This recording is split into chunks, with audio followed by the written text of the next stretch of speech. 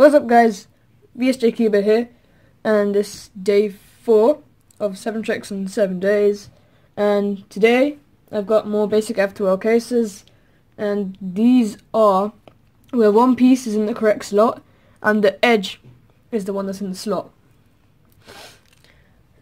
But like, when I say the edge is in the slot, it doesn't have to be necessarily like the correct orientation. For example, this is like not the correct orientation.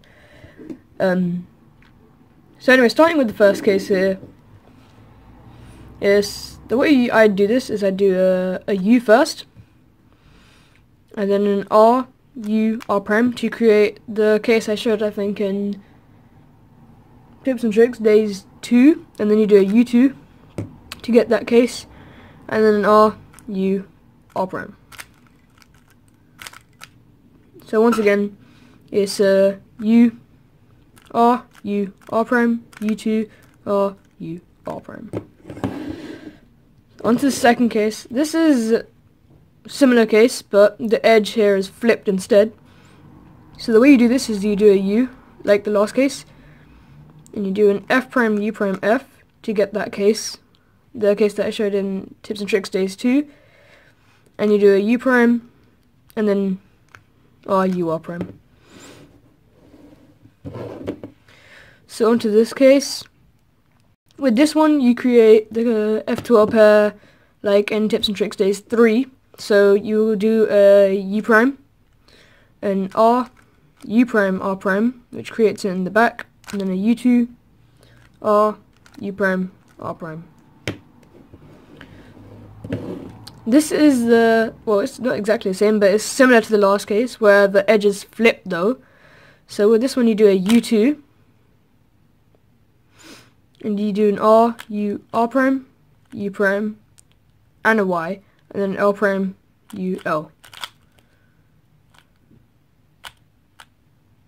Wait, what have I done? Oh wait, there we go. Or in another case, that you, another way you could do this is to do U prime, R, U, R prime, U, then do a Y prime, and R prime, U prime, R. Both algs will be in the description, depending on whichever one you prefer. You can try out both of them. This case is pretty easy to recognize. Uh, if you don't see this sticker, because it won't necessarily always be there, you'll have a checker pattern from these two.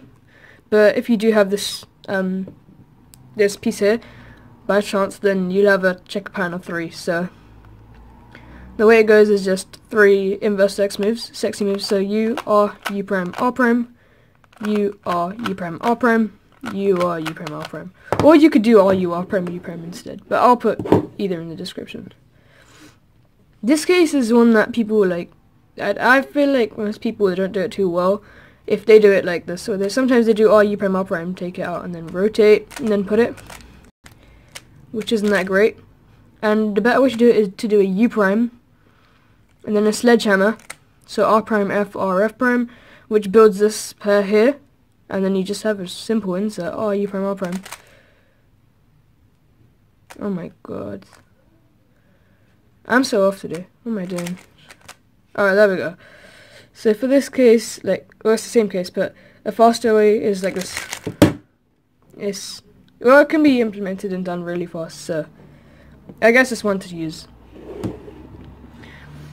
Thanks for watching Tips and Tricks Days 4, for 7 tricks in 7 days, and the same, no, the next video will be out tomorrow, same, uh, same time, like, like always.